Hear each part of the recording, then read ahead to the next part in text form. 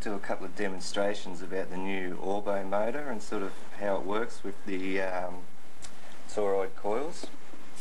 First I've got a wire and um, it's going in the east-west direction and I'm going to have the current running through the wire so according to the right hand thumb rule the, um, the magnetic field around the wire will be going in the direction of the arrows and I've got a little needle and the lower end of this needle is the north pole.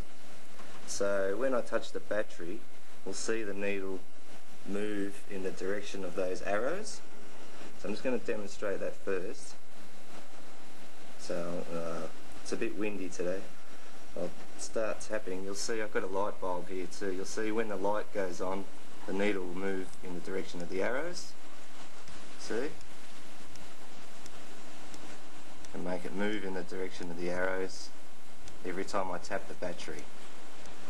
So what I'm going to do now is I'm going to replace the uh, wire with um, the toroid coil and I'll hang the needle over here and we'll see if we can make that move as well. Alright now I've got the toroid set up so that the cut the magnetic flow in the in the core of the toroid is going in the direction of the arrows. We can prove that again. I've got the needle, got the little needle there, and it'll swing in the direction of the arrows when I tap the battery now. See?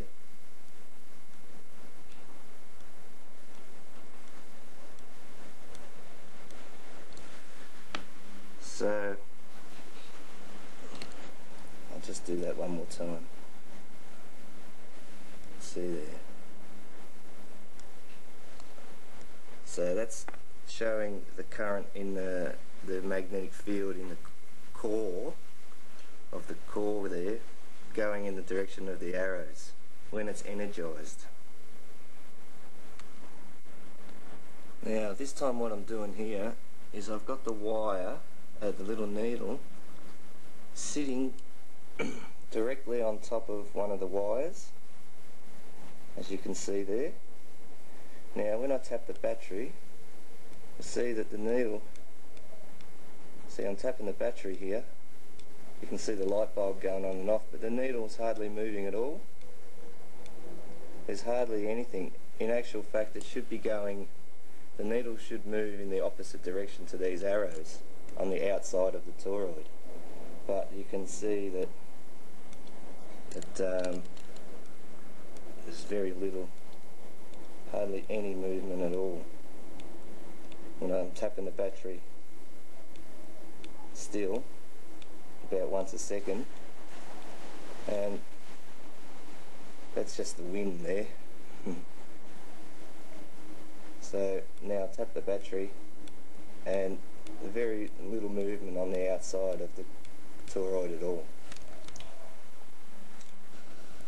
This time I've got the toroid in a box of iron filings and I've got a big stack of magnets on the side there and I've got some on the other side.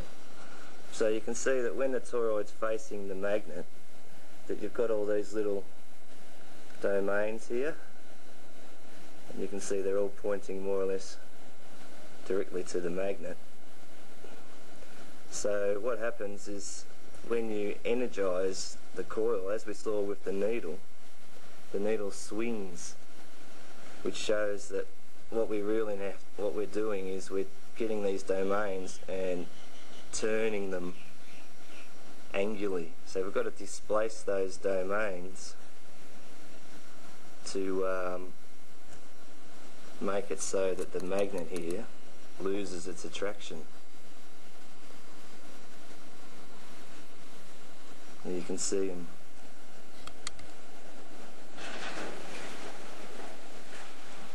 when the when the um, when the um, toroid is energized, it's more or less got the domains running along this way, see? But um, of course the toroid's facing the other way. The domains from the wires, the, the current from the wires magnetizes it like this while the energy's on. So that's why the outside magnets don't want to stick to it. But when the current's off, when the power's off, the magnets will attract and you can see all the domains lined up across, pointing across the core of the toroid. But when the current's on in the wires, all these domains more or less along the toroid.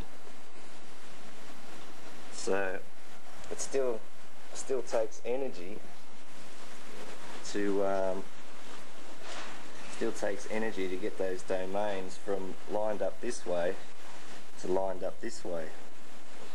So um, it just depends now on people's builds and calculations to see how it all pans out.